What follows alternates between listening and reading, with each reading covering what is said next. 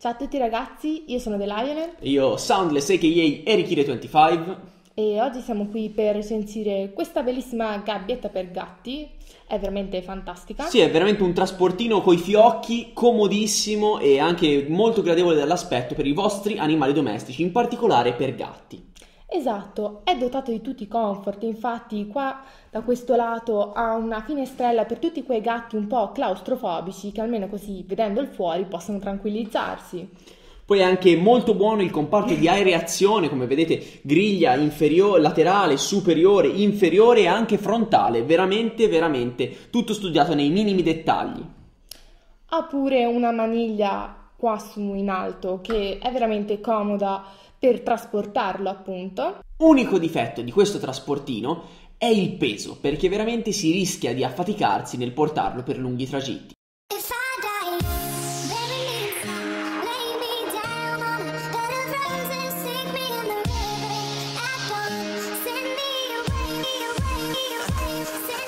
Parte gli scherzi. Oggi siamo qui per recensire il nostro nuovissimo case della Cooler Master, lo Stormtrooper. Questa versione, come vedete, avviene già finestrata e lo dico perché solitamente lo Stormtrooper avviene, viene con il pannello front- eh, laterale completamente chiuso. Al contrario di quello che avviene per il suo gemello bianco, ovvero lo Storm Striker, che di serie è già finestrato. Quindi senza perderci in ciance, passiamo subito a vedere nel dettaglio tutte le caratteristiche di questo case.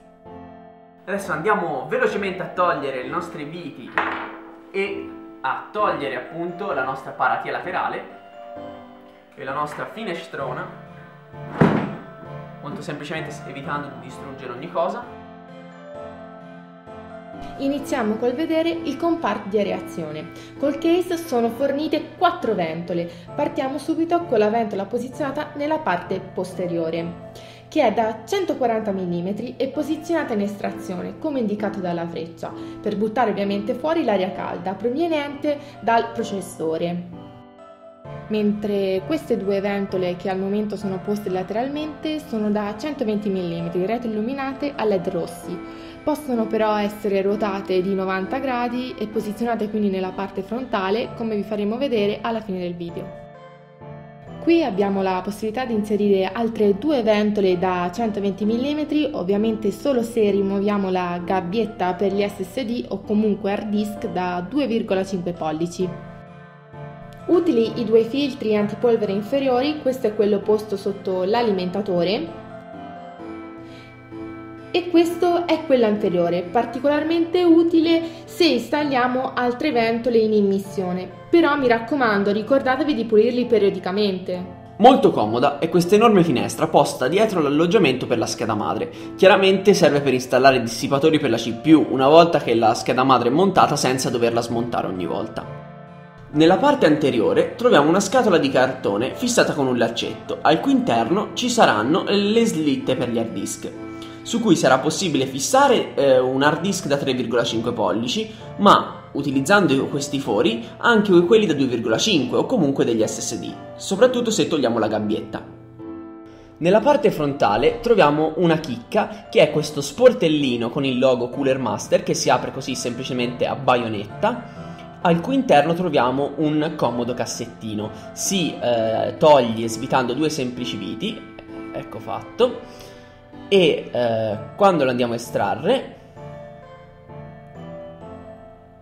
lo si apre semplicemente sollevando ecco, il coperchio e all'interno troviamo un sacchettino con tutta la varia viterie i distanziali per la scheda madre, una prolunga per l'alimentazione, delle fascette e dei comodi adattatori per installare per esempio un card reader da 3,5 pollici negli slot frontali.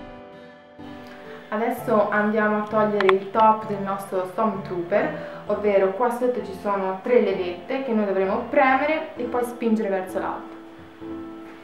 Se riesco. Questa ovviamente è la maniglia che è rivettata al telaio del case, è molto solida ma quando la alzate tenete comunque una mano sotto evitando rischi inutili. Questo è il filtro antipolvere posto sul top che effettivamente è piuttosto inutile visto che questa magnifica ventola da 200 mm è posta in estrazione e quindi non dovrebbe accumulare polvere. Se invece comunque la rimuoviamo possiamo installare due ventole da 140 o 120 mm o ancora meglio un radiatore per dissipatori a liquido. Passando al lato destro del nostro Stormtrooper possiamo notare subito i gommini per il passaggio dei cavi, che sono molto comodi, ma una piccola pecca diciamo che abbiamo trovato è che sono troppo sottili, infatti si possono deformare troppo facilmente. Molto buono invece è lo spazio per il cable management, che è più di un centimetro, ma aumenta notevolmente se consideriamo anche la bombatura sul fianco laterale. Nella parte posteriore possiamo subito notare i morbidi gommini per l'uscita del sistema di raffreddamento a liquido, eventuale appunto se, se qualcuno lo decide di installarlo, eh, l'alloggiamento della nostra ventola da 140 mm, eh, i 9 bay per eh, gli slot espansione PCI, qui un comodo fermacavi eh, per fermare appunto il cavo della tastiera, del mouse, comunque in modo che quando lo tirate non viene via e qua giù abbiamo semplicemente appunto lo slot per l'inserimento del nostro alimentatore. Dulcis in fundo, il pannello frontale. Quello che spicca subito è l'enorme tasto di accensione con il logo Cooler Master retroilluminato di rosso. Qui abbiamo i classici LED di stato, seguiti dagli ingressi audio del microfono e delle cuffie. 4 porte USB 2 3.0 e 2 2.0, la porta eSATA e il tasto di reset. Una delle parti più interessanti di questo case si trova proprio qui, dove abbiamo i tasti per diminuire ed aumentare la velocità delle nostre ventole. Sono disponibili fino a 6 livelli di velocità, che vengono indicati da questi tre LED con due intensità luminose. E proprio qui abbiamo il tasto che ci permette di accendere e spegnere i LED delle nostre ventole. È molto comodo soprattutto se di notte lasciate il PC acceso in camera, ma per- permette soltanto di accendere e spegnere tre ventole.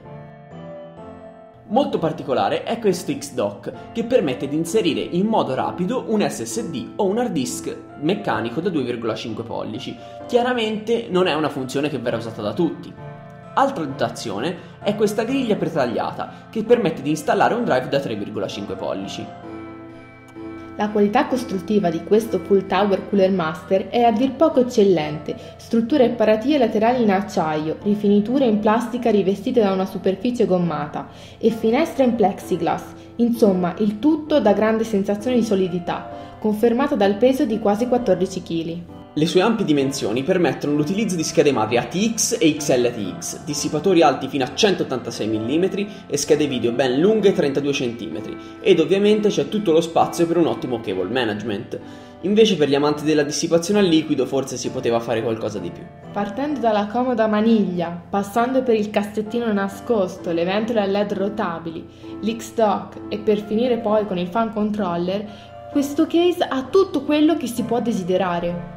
Per quanto riguarda la reazione, il case è fornito di ben 4 ventole, ma se ne possono installare addirittura 6. Il ricircolo d'aria è veramente ottimo e le temperature rimangono molto basse, però purtroppo il rumore delle ventole preinstallate si fa sentire.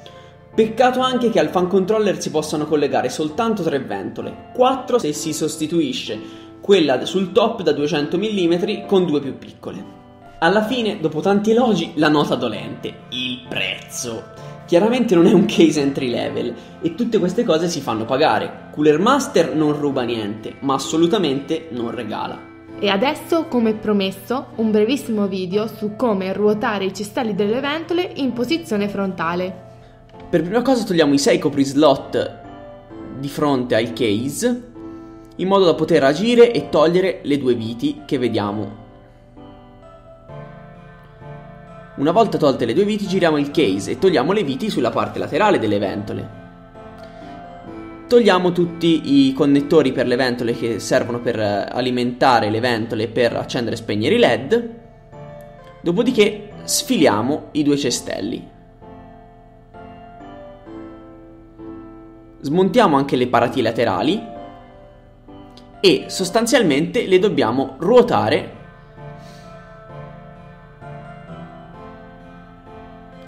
esattamente come vediamo adesso.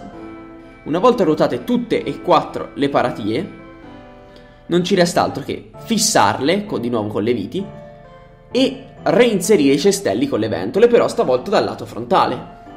Colleghiamo di nuovo i connettori, avvitiamo di nuovo le, i cestelli alle piastre laterali e voilà, il gioco è fatto.